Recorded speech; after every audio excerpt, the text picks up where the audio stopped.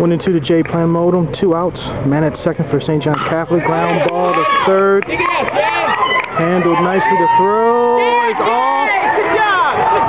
And here comes Giaverdi in with the second run for St. John's Catholic. And Jay Plamondon